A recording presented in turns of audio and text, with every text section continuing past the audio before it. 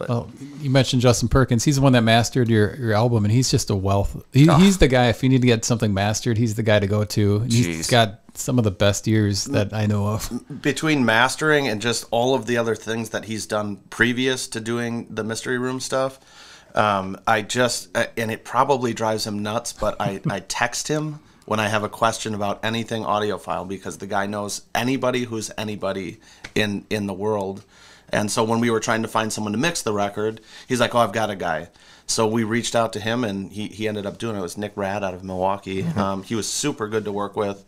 Um, and uh, yeah, Justin is is crazy. He's his ears are so good. he's a freak of nature. yeah, it's almost frustrating, um, but because I'm not that good at any one thing, right? Uh, and and he is so good at what he does.